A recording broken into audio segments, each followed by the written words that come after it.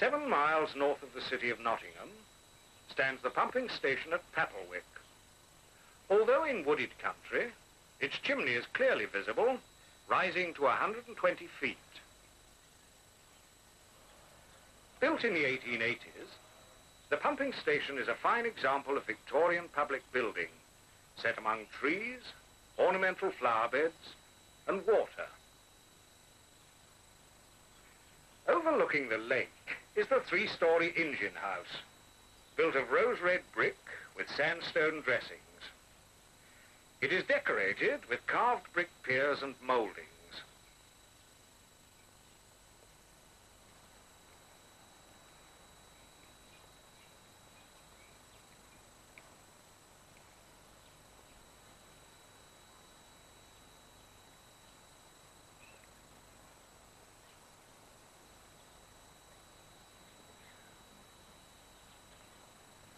The west side is the single-story boiler house and the old stables.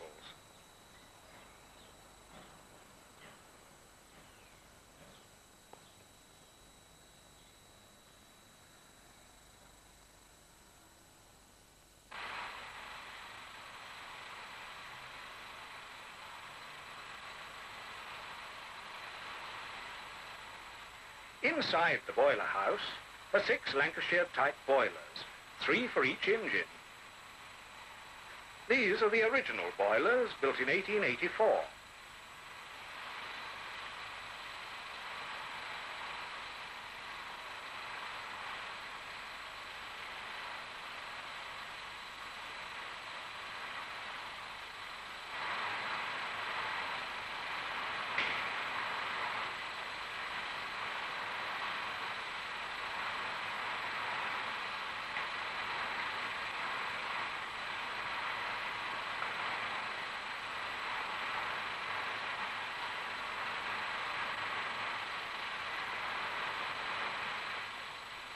Steam is supplied at 50 pounds per square inch to a pair of single-cylinder drop valve condensing beam engines.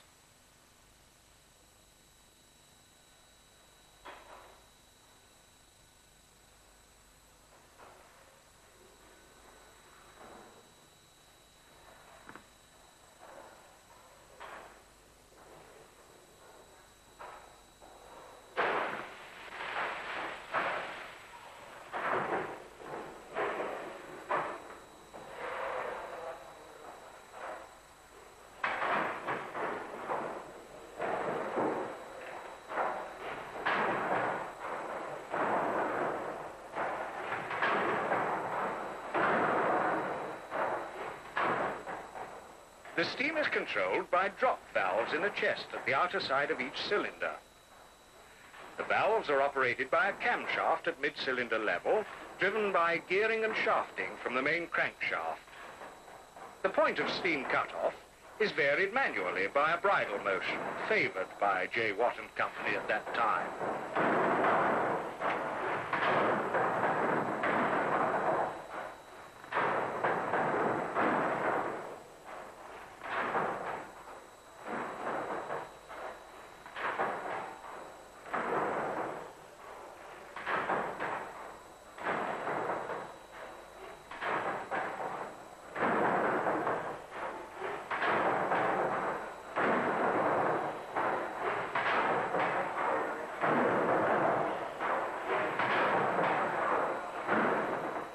Cylinder has a diameter of 46 inches and the piston a stroke of 7 feet 6 inches, developing a thrust of 35 tons.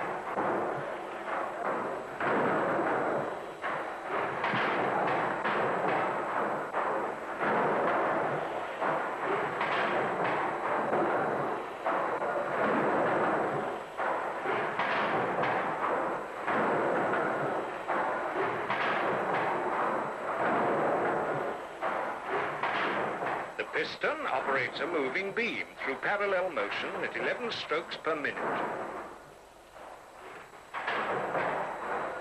The beam weighs about 40 tons and is mounted in bearings some 20 feet above the engine house floor. Revolution counters are mounted upon the center gudgeons.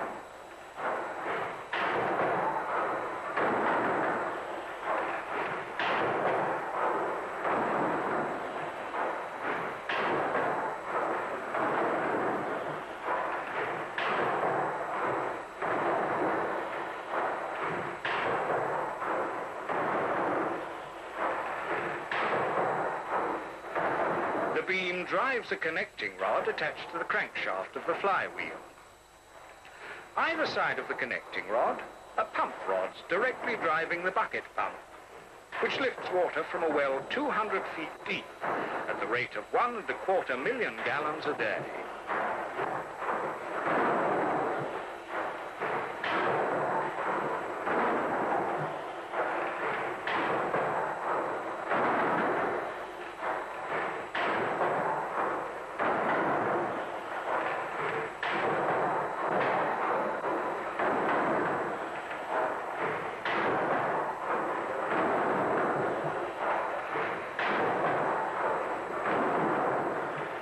A separate rod drives the ram pump, which transfers the water into the public supply or to the reservoir.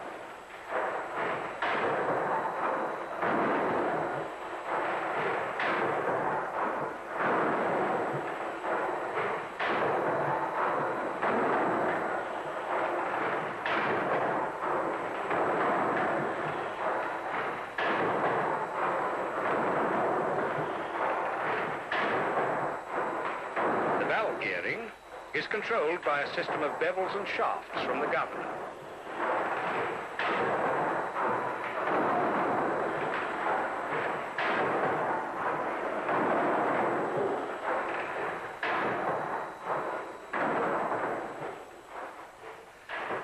The finish of the whole installation is of the highest standard, even for that period of achievement and pride.